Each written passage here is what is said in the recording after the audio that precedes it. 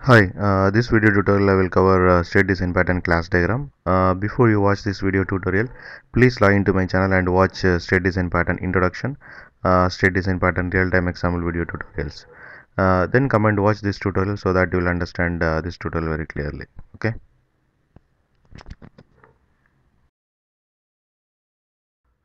This is the class diagram of state design pattern.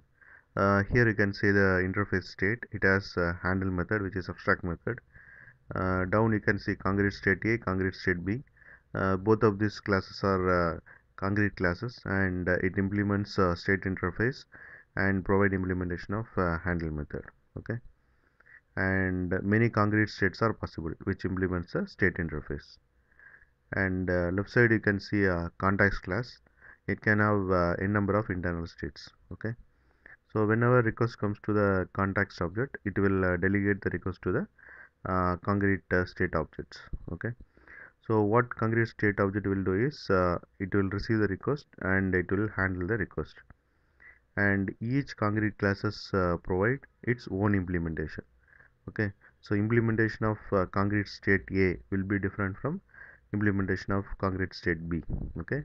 So in this way when the context changes the states its behavior will change as well right? So this is about uh, state design pattern class diagram.